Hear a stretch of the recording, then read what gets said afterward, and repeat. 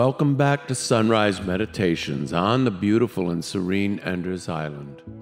Today is Wednesday of the 22nd week in Ordinary Time, and I'm your host, Deacon Francis Valliere. Our Lectio Divina, our divine reading, is from the Gospel according to St. Luke, chapter 4, verses 38 through 44. Let us begin our divine reading with an opening prayer. In the name of the Father, and of the Son, and of the Holy Spirit. Amen. God of might, giver of every good gift, put into our hearts the love of your name, so that by deepening our sense of reverence, you may nurture in us what is good, and by your watchful care, keep safe what you have nurtured. Through our Lord Jesus Christ, your Son, who lives and reigns with you in the unity of the Holy Spirit, God forever and ever. Amen. And now let us listen and attend to our scripture passage. The Lord be with you. A reading from the Holy Gospel according to St. Luke. After Jesus left the synagogue, he entered the house of Simon. Simon's mother in law was afflicted with a severe fever, and they interceded with him about her.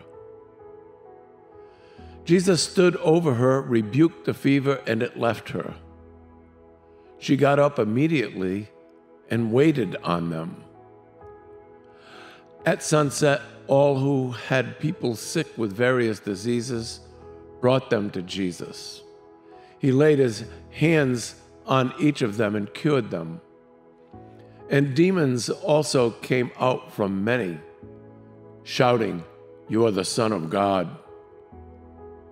But he rebuked them and did not allow them to speak, because they knew that he was the Christ. At daybreak, Jesus left and went to a deserted place. The crowds went looking for him, and when they came to him, they tried to prevent him from leaving them. But he said to them, To the other towns also I must proclaim the good news of the kingdom of God because for this purpose I have been sent. And he was preaching in the synagogues of Judea. The Gospel of the Lord. Through the words of the Gospel, may our sins be wiped away. According to St. Luke, my brothers and sisters, today's Gospel reading shows Peter's mother in law suffering from a severe fever. And so the disciples begged Jesus to do something for her. And so Jesus stood over her and with a word cured her. Immediately she got up and she began to serve Jesus and the group. There is a lesson here for all of us. Health and healing are not just for the individual. Her healing immediately restored her to the community and the duty of serving that community. As long as we are in good health, our energies are meant to be directed to the building of the kingdom, the building up of the community, and not simply for our own personal enjoyment. As soon as the Sabbath was over, large numbers brought to Jesus they're sick. And as the scriptures tell us, he laid his hands on every one of them and healed them.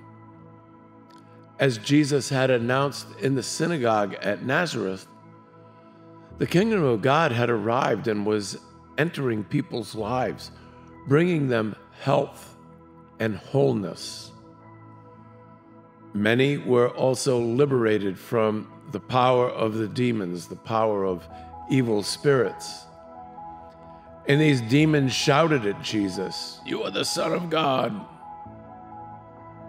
Clearly, the presence of the kingdom is being felt. Jesus had been working the whole night for all of these people. So at daybreak, he goes off to a quiet place, as he often did, to sort of regroup the people who had seen what he did for them wanted him to stay with them. But he couldn't stay and he wouldn't stay. Jesus told them, I must preach the kingdom of God to other cities as well. That is why I've been sent. And so we're told that he was now preaching in all the synagogues of Judea, all over the place. That's in the south of the country, Judea. Although the term may simply refer to the whole of the Jewish territory. No place could have a monopoly on his attention. There was only one of Jesus. He didn't bilocate. And he needed to be heard where he needed to be heard. And so we need to attach ourselves to Jesus and keep close to him and follow him wherever he goes, wherever he brings us. But we cannot cling to him in a way that prevents others from experience his healing touch as well. We can't have a monopoly on Jesus. On the contrary, our tasks as his disciples and apostles is to see that as many as possible, as many people as possible, come to know and experience his love and his compassion and his healing. Something for all of us to ponder. As usual, after our closing prayer, we read this scripture passage again. Contemplate its message and concentrate on a thought that the Holy Spirit places in your heart. This can be either through a verse or even just a small word from this scripture passage. Then ask the Holy Spirit to show you how it pertains to you, and more importantly, how you may spiritually grow in imitation of Jesus, fulfilling the will of our Heavenly Father. Let us complete a divine reading with a closing prayer, and let us pray. Governed by your Holy Spirit, we pray, O Lord, those who contemplate and embrace your divine word, that in professing you, not just in words, but also in works, in spirit, and in truth, we may merit entering the kingdom of heaven through Christ our Lord. Amen. May the peace of the Lord Jesus be upon you always and in all ways.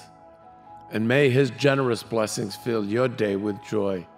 In the name of the Father, and of the Son, and of the Holy Spirit. Amen. If you enjoy listening to these daily meditations, please click the thumbs up button. And if you haven't already done so, don't forget to subscribe to our channel and click on the notification button, the bell icon, so you don't miss the new meditations that come to you each and every day. And please help support our channel by sharing these links with others. Pass them along to your friends and relatives as well, even those who otherwise might not be interested. God bless you all. Have a great day. And join us again tomorrow for another Lectio Divina, a divine reading of God's sacred word. Pax et bonum omnibus, peace and blessings to all. Shalom, shalom.